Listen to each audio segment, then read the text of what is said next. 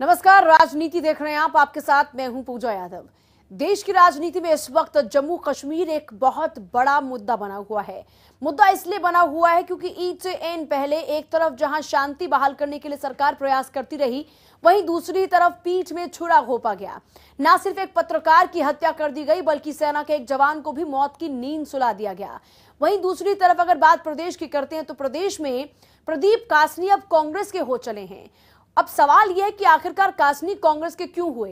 एक तरफ़ जहाँ वो लगातार खुद पूर्व सीएम भूपेंद्र हुडा की सरकार में उनके खिलाफत करते रहे, मौजूदा सरकार के बनने के दौरान में ना सिर्फ़ वो मौजूदा सीएम के साथ अपनी करीबियाँ बढ़ाते रहे, बल्कि उन्होंने कई दफ़ा इनेलो के साथ भी संपर्क साधने की कोशिश की। लेकिन अब ऐसा क्या हो गया कि उनको अशोक तंवर इतने भाए कि अशोक तंवर की बात पर ही उन्होंने कांग्रेस को ज्वाइन कर लिया? या फिर यूँ कही कि खुद कासनी को तलाश थी, राजनीति में एंट्री के लिए किसी दल की ज़रूरत थी और उन्हें जब अशोक तंवर का साथ मिला तो उन्होंने राहुल गांधी से हाथ मिला लिया और कांग्रेस के हो गए। दूसरी तरफ़, जो तस्वीर जम्मू कश्मीर में सामने आई है, उसके बाद से लोकतंत्र के ऊपर कई सवाल उठ रहे हैं। क्योंकि एक तरफ़ जहाँ आज़ादी दी जाती है, वहीं उसी आज़ादी को तमाचा मारा जा रहा है। गलत तरीके से उसका फ़ायदा उठाया जा रहा है। अशांति का माहौल है और सरकार सवालों के घेरे में है क्योंकि जिस तरह से ईद से एन पहले शांति को भंग करने की कोशिश की गई है, उसके बाद खुद सिर्फ़ और सिर्फ़ चाहे वो गृह मंत्री राजनाथ सिंह हो या फिर खुद वहाँ की सीएम महबूबा मुफ्ती, दोनों ही सिर्फ़ इस पूरी घटना पर अपना दुख व्यक्त कर रहे हैं, लेकिन इसके पीछे की वजह क्या है, न इसको जानने की वो कोशिश कर रहे हैं और ना ही वो ऐसे हालातों से निपटने की तैयारी करते हुए नज़र आ रहे हैं। और राजनीति में सबसे पहले बात करेंगे पूर्व आईएएस अधिकारी प्रदीप कासनी की, जो कि कांग्रेस के हो चुके हैं। उनका नया प्रोफ़ाइल है अब कांग्रेस नेता का। उनके कांग्रेस ज्वाइन कर लेने के बाद अब कई तरह की चर्चाएँ तेज हो चुकी हैं। कुछ का कहना यह है कि ऐसा करके वो बीजेपी का कथित न्योता ठुकरा कर अपनी नाराज़गी को ज़ाहिर कर चुके हैं, यानी अपनी नाराज़गी का वो परिचय दे रहे हैं। लेकिन जिस कांग्रेस और इंदिरा गांधी के खिलाफ उनके पिता अपने अखबार में खुलकर लिखते रहे, अब वही कांग्रेस कासनी को नियारी कैसे लगने लगी है? देखिए इसी पर एक रिपोर्ट।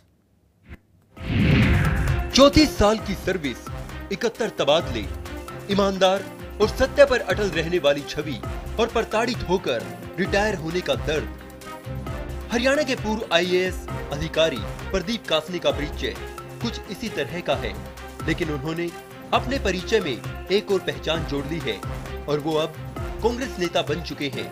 औपचारिक तौर से उन्होंने कांग्रेस की सदस्यता स्वीकार कर ली है और उम्मीद जताई जा रही है कि कासनी को इसका इनाम चुनावों में टिकट देकर चुकाया जाएगा।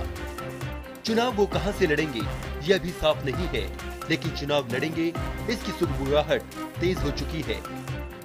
प्रदीप कासनी वैसे मूल रूप से चरखी दादरी के रहने वाले हैं और युवावस्था से ही क्रांतिकारी विचारों के बीच उनके सामाजिक समझ का विकास हुआ।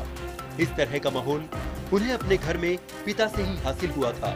उनके पिता धर्म सिंह, किसान मजदूर आंदोलन के नेता थे। इमरजेंसी से पहले भिवानी के रिवासा कांड को लेकर तत्कालीन बंसीलाल सरकार को लेकर लोगों में भारी नाराज़गी थी। प्रदीप कासनी के पिता धर्म सिंह ने उस आंदोलन की भी अगुवाई की थी। वो अपने साप्ताहिक अखबार में बंसीलाल सरकार और इंदिरा गांधी के खिलाफ खुलकर लिखा करते थे, जिसमें युवा प्रदीप कासनी भी उनका सहयोग करते थे। लेकिन क्या मालूम था कि भविष्य में प्रदीप कासनी सेवानिवृत्त होने के बाद कांग्रेस का ही नेतृत्व स्वीकार करेंगे? वैसे एक और बेहद दिलचस्प बात यह है आई प्रदीप कासनी ने अपने सेवा काल के चौतीस सालों में इकहत्तर तबादलों का दश भी झेला है? और उसमें भी उनके सबसे ज़्यादा तबादले कांग्रेस शासन में ही बताए जाते हैं। लेकिन फिर भी उन्हें कांग्रेस का साथ ही सबसे न्यारा लगा। वैसे इसके पीछे कई तरह की चर्चाएँ हैं। बीजेपी शासन में ही सितंबर 2016 में एक महीने में ही उनके तीन तबादले किए गए थे। रिटायर होने के कुछ आखिरी महीने भी उनके लिए खासी दुखदायी रहे। इस दौरान उन्हें लैंड यूज़ बोर्ड के मुख्य कार्यकारी अधिकारी के तौर पर नियुक्त किया गया, जो अस्तित्व में ही नहीं था। आखिरी छह महीनों में वो गाड़ी, वेतन, भत्तों और दफ्तर के लिए लड़ते रहे। रिटायर होने के आखिरी छह महीनों में उन्हें वेतन तक नहीं दिया गया। ऐसे में ज़ाहिर है आई अधिकारी के तौर पर अपनी सालों लंबी सेवाएँ दे चुके प्रदीप कासनी शायद अंदर से टूट चुके थे। अपने साथ हुए ऐसे बर्ताव को लेकर उन्होंने कई बार आवाज़ भी बुलंद की, जो या तो सुनी नहीं गई या फिर शायद जानबूझकर नजरअंदाज कर दी गई। प्रदीप कासनी ने अपने एक बयान में हालाँकि ये ज़रूर कहा कि उन्हें राहुल गांधी के कुशल नेतृत्व में विश्वास है और उनसे प्रभावित होकर ही उन्होंने कांग्रेस का दामन थामा है।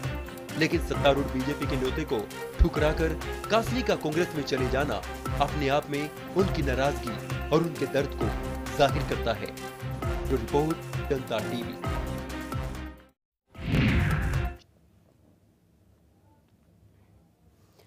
प्रदीप कासनी। अगर प्रदीप कासनी की बात करते हैं तो प्रदीप कासनी वही हैं जो लगातार भूपेंद्र हुड्डा सरकार में खिलाफत करते रहे। वो बार बार अपनी आवाज़ उठाते रहे, जिसका खामियाजा भी उनको भुगतना पड़ा, लेकिन आखिरकार भी लड़ाई की उस जीत को वो हासिल कर पाए। जब मौजूदा सरकार आई, उस दौरान में करीबियाँ बढ़ाने की कोशिश की उनको लगा कि शायद ये सरकार उनको तवज्जो देगी। लेकिन आखिरकार उनको इस बात का एहसास हो गया, इस बात का इल्म हो गया कि यहाँ पर भी उतनी तवज्जो उनको नहीं मिलने वाली। शायद यही वजह है कि वो राहुल गांधी के कुशल नेतृत्व में काम करने की बात कह रहे हैं। आखिरकार प्रदीप कासनी कांग्रेस का दामन थाम चुके हैं, लेकिन उसके बाद एक नई तरह की चर्चा शुरू हो चुकी है। अब चर्चा यह है कि क्या अब कासनी 2019 के विधानसभा चुनाव भी लड़ेंगे? अगर ऐसा होता है तो उन्हें टिकट आखिरकार कहाँ से मिलेगी? या फिर क्या वाकई ही कांग्रेस उन पर इतनी जल्दी दाव लगाने के लिए रजामंद हो पाएगी? या फिर कहीं ऐसा तो नहीं कि कांग्रेस इस काबिल नौकरशाह को अपने थिंक टैंक की टीम में शामिल करे? बहरहाल जो भी हो, सभी बातें अभी अगर मगर के दायरे में ही हैं। फ़िलहाल, आप देखिए रिपोर्ट।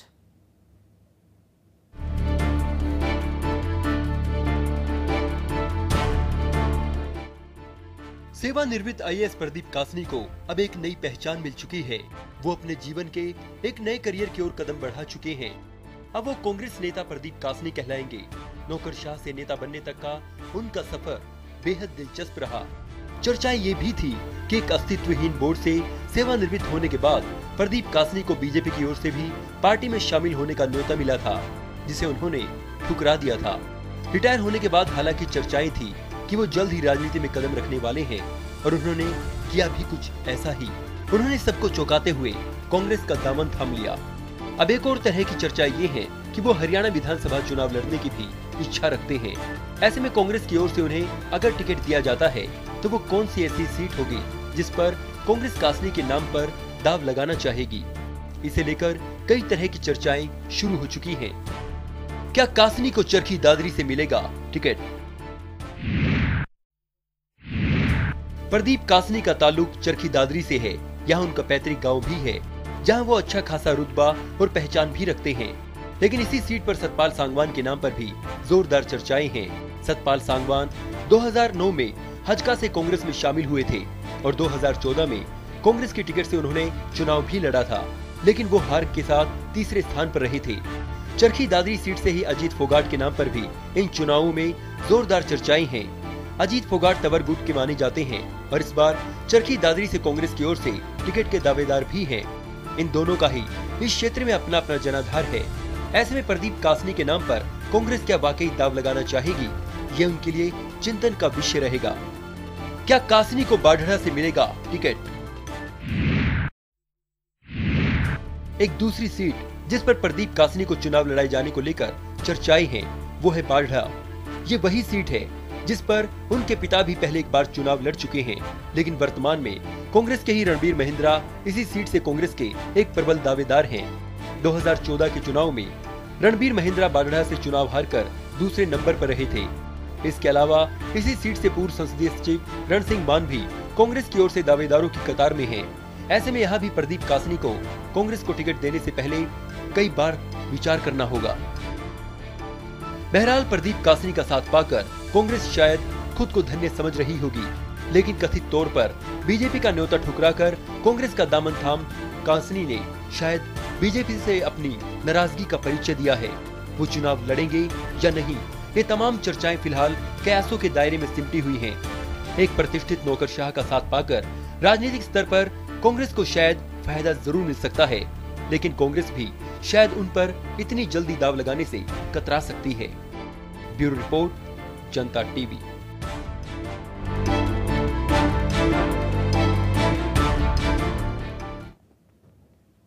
प्रदेश में खैर अगर नाराज़गी है तो नाराज़गी ज़ाहिर की जा सकती है। अगर किसी और का दामन थामना है तो दामन थामने के लिए भी आपके पास ऑप्शन बहुत है। लेकिन अगर देश के एक ऐसे प्रदेश की बात करें जहाँ पर शांति बहाल हो, यह हर कोई चाहता है, लेकिन अब तक वहाँ पर सिर्फ़ और सिर्फ़ गोलियों की ही तड़तड़ाहट बार बार परेशान करती है। कुछ ऐसा ही अभी हाल ही में भी हुआ। राइजिंग कश्मीर के संपादक सुजात बुखारी की जब गोली मारकर हत्या कर दी गई उसके बाद से प्रदेश में सवाल कुछ यूँ ही उठ रहे हैं कि आखिरकार लोकतंत्र पर तमाचा कब तक लगता रहेगा? सिर्फ़ यही नहीं, बल्कि सेना के एक जवान को भी मौत के घाट उतार दिया गया। यानी जो जो आतंकवाद के खिलाफ अपनी गर्दन उठाएगा, कश्मीर में वो कम से कम सुरक्षित तो नहीं है, कुछ ऐसा ही संदेश मिल रहा है।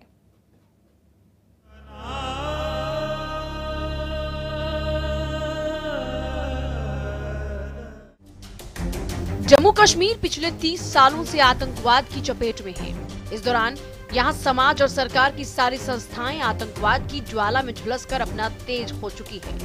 मगर प्रजातंत्र का चौथा स्तंभ कहलाने वाली प्रेस इस बीहड़ समय में भी न केवल अपना अस्तित्व बचाए है, बल्कि सारे खतरे उठाते हुए अपने दायित्व का भी पूरी तरह से निर्वाह कर रही है। लेकिन ये भी कड़वी सच्चाई है कि आज कश्मीर प्रेस की स्थिति कुएँ और खाई के बीच वाली है। और कश्मीर के पत्रकारों के लिए ज़िंदगी के मायने दो धारी तलवार पर हैं। सजाद बुखारी की गोली मारकर की गई हत्या भी इसका पुख्ता सबूत है। एक कड़वी सच्चाई ये भी है कि अपने पेशेगत जिम्मेदारियों को निभाने वाले यहाँ के पत्रकार बहुत ही विकट परिस्थितियों में काम कर रहे हैं। एक तरफ़ उन पाक समर्थित आतंकवादियों की बंदूकें तनी हुई हैं, तो दूसरी ओर राज्य सरकार उन्हें सूचना के अधिकार से वंचित रख उन पर ही डंडे बरसाने गिरफ़्तार करने और उनका हर तरह से दमन करने की कोशिश में लगी रहती है। जम्मू कश्मीर में अभी तक दो दर्जन से ज़्यादा मीडिया कर्मी अज्ञात बंदूकधारियों द्वारा मारे जा चुके हैं। सरकार कहती है कि इन्हें आतंकवादियों ने मारा है और आतंकवादी इसका आरोप सरकार पर लगाते हैं। राज्य सरकार अभी तक किसी भी हत्या के मामले में दोषियों को सजा दिलवा नहीं पाई। इसका कारण आतंकवादियों द्वारा बार बार ये दोहराया जाना है कि सरकार इन हत्याओं के मामलों को दबाना चाहती है। दशा आज ये है कि पत्रकारों को दो धारी तलवार पर चलने के लिए मजबूर होना पड़ रहा है। इस सब के बावजूद सरकार और आतंकवादी के कोप भोजन का वो शिकार हो रहे हैं। बुखारी हत्या की वजह भी कश्मीर में होने वाली हर घटना पर ग्राउंड रिपोर्ट ही नज़र आई। वो लगातार आतंकवाद की मुखालफत करते थे और उनके यही विचार आतंकियों को रास नहीं आ रहे थे। इसी वजह से वो आतंकियों के निशाने पर थे। आखिरकार, आतंकी कामयाब हुए और सरकार सिर्फ़ मुँह बाहें देखती रही। कदम कुछ उठाया नहीं, लेकिन हाँ शोक ज़रूर जता रही है। घाटी में शांति कायम करने की ज़िम्मेदारी खुद सरकार की है, लेकिन सरकार की इस नाकामी का खामियाजा कभी पत्रकार तो कभी वहाँ तैनात जवान और कभी आवाम को भुगतना पड़ रहा है। सवाल सरकार की नीतियों पर भी उठ रहे हैं, क्योंकि उनकी नीतियों के कारण ही घाटी में हमेशा तनाव का माहौल है। अब न सरकार का आतंकवाद को लेकर ज़ीरो टॉलरेंस नज़र आता है, न ही आतंकवाद से निपटने की कोई तैयारी। तमाम इंतज़ाम सेना, सब कुछ होने के बावजूद भी हालात सामान्य नहीं। क्या सरकार इतनी पंगु है कि सालों से एक ही समस्या के समाधान को समझ नहीं पाई? या यहाँ शांति के पीछे वजह कुछ और ही है? आप भी अब तक बेहतर समझ ही गए होंगे। Bureau report, Janta TV.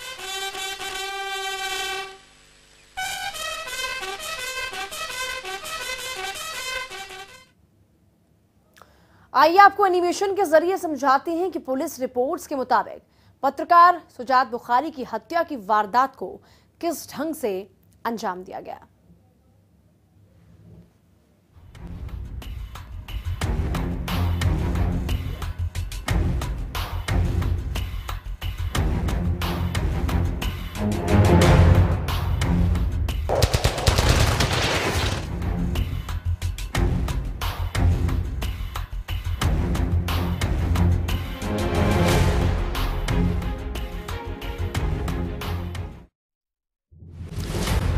जगह है श्रीनगर। सुजात बुखारी अपने दफ्तर से इफ्तार पार्टी के लिए निकल रहे थे। वो इफ्तार के लिए निकल ही रहे थे कि इतने में ही उनका रास्ता रोक लिया गया। और उन्हें 14 जून को अपना ट्वीट किया था। उसके बाद देखिए, हालात क्या हुए हैं? हालात ये हुए हैं कि उन्हें मौत की नींद हमेशा के लिए सुला दिया गया। और किस तरह से इस पूरी वारदात को अंजाम दिया गया, इस एनिमेशन के ज़रिए वो आप समझ ही गए होंगे।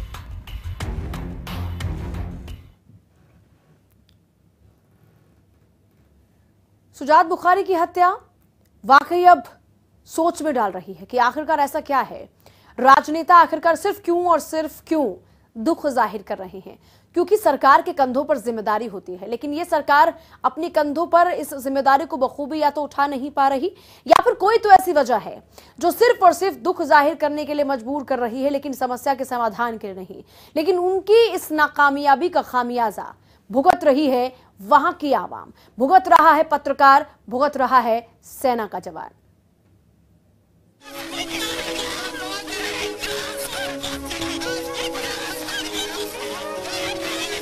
जम्मू कश्मीर की ये दो तस्वीरें चीख चीख कर सरकार की असफलता और क्रूरता की पराकाष्ठा को दर्शा रही हैं। ईद से अन पहले गुरुवार को आतंकियों ने कश्मीर में दो बड़े हमलों को अंजाम दिया। एक तस्वीर है जाबाज की जो छुट्टी लेकर ईद मनाने घर जा रहा था। लेकिन सेना के जवान औरंगज़ेब को शोपिया से अगवा कर बर्बरता से उसकी हत्या कर दी गई। औरंगज़ेब हिजबुल आतंकी समीर टाइगर को एनकाउंटर में मारने वाली टीम में शामिल था। दूसरी तस्वीर, अंग्रेज़ी अखबार राइजिंग कश्मीर के संपादक शुजात बुखारी की है, जिनकी हत्या उन्हीं के दफ्तर के सामने गोली मारकर कर दी गई। शाम करीब सवा सात बजे इफ्तार पार्टी में जाने के लिए ऑफ़िस से निकले थे। यहीं पर उन्हें गोलियों से छलनी कर दिया गया। इन तस्वीरों के बावजूद भी कयास लगाए जा रहे हैं कि ईद के बाद ही एक तरफा संघर्ष विराम को खत्म कर दिया जाएगा। हैरत की बात यह है कि एक तरफ़ संघर्ष विराम के दौरान आतंकी हमलों में कई गुना इजाफा हुआ है, लेकिन इस सब के बावजूद नेता मातम का ढोंग पीट रहे हैं। जम्मू कश्मीर की मुख्यमंत्री महबूबा मुफ्ती ट्वीट कर दुख बयां कर रही हैं। वो लिख रही हैं कि आतंक ने ईद की पूर्व संध्या पर अपना बदसूरत सिर उठाया।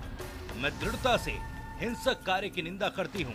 वहीं घटना के बाद केंद्रीय गृह मंत्री राजनाथ सिंह ने भी उनकी हत्या पर दुख जताते हुए कहा कि राइजिंग कश्मीर के संपादक शुजात बुखारी की हत्या एक कायराना कृत्य है। ये कश्मीर के लोगों की आवाज़ को चुप कराने की कोशिश है। एक साहसी और निडर पत्रकार थे। बेहद हैरान करने वाला और दर्दनाक। मेरे विचार और प्रार्थनाएँ शोकग्रस्त परिवार के साथ। लेकिन उनके इस ट्वीट का क्या औचित्य है? जब ऐसी करतूत करने वालों के खिलाफ वो सख्त रुख अख्तियार नहीं कर पा रहे। प्रदेश में ईद के मौके पर फैली अशांति के बावजूद भी क्यों ऐसे लोगों के खिलाफ नर्म रुख अख्तियार किया गया? और प्रदेश में घटित घटना पर सिर्फ़ दुख जताया जा रहा है। एक्शन अभी भी नहीं। आखिर ऐसा भी क्या दबाव है? केंद्र और प्रदेश सरकार पर। अब तक रमज़ान के शुरुआती 27 दिन के दौरान आतंकी हमले तीन गुना बढ़ गए। इन 27 दिनों में अट्ठावन आतंकी हमले हुए। क्योंकि रमज़ान का महीना शुरू होने से पहले के 27 दिनों में 18 हमले हुए थे। ग्रेनेड अटैक भी चार गुना बढ़ गए। सत्ताईस दिन में 20 ग्रेनेड अटैक हुए। कि इससे पहले की अवधि में पाँच अटैक हुए। फायरिंग की भी 22 घटनाएँ हुई, जबकि रमज़ान से पहले 13 ऐसी घटनाएँ हुई थी। रमज़ान के दौरान सीमा पर 20 आतंकी मारे गए, जबकि रमज़ान के पहले के 27 दिनों में 14 आतंकी मारे गए थे। खैर जम्मू कश्मीर में आतंक का सर लगातार उठ रहा है। ज़रूरत है ऐसे सरों को कुचलने की, जिसके लिए सरकार को सख्त होना होगा। सिर्फ़ बातें ही नहीं, बल्कि कार्रवाई भी करनी होगी। Bureau report Janta TV. जी हाँ राजनीति में आमतौर पर कहा जाता है कि यहाँ तो बातों का ही पूरा का पूरा खेल होता है या तो बातें या तो बिसात। यही दो चीज़ें राजनीति में किसी भी राजनेता को कामयाबी के शिखर तक पहुंचाती है। चलिए फ़िलहाल चलते चलते आपको छोड़े जाते हैं जोक ऑफ़ द पॉलिटिक्स के साथ। कुरुक्षेत्र के राजकुमार को चढ़ी है नई खुमारी। अब तक सियासी वार थे विरोधियों पर अब है बीजेपी की बारी। अस्तित्व बचाने के लफड़े में कर दिया नई पार्टी का ऐलान। यारी दोस्ती नहीं किसी से, बल्कि सबसे है सिर्फ़ घमासान। चुनाव में उतरने की बेचैनी में ढूंढ रहे हैं जनाधार। राजकुमार व कुरुक्षेत्र के, क्या वाकई कोई आधार? रातों में ख्याल संजोए और छोड़े बातों के बाद। अरे, ऐसे पूरे होते नहीं सपने, ख्याली राजकुमार।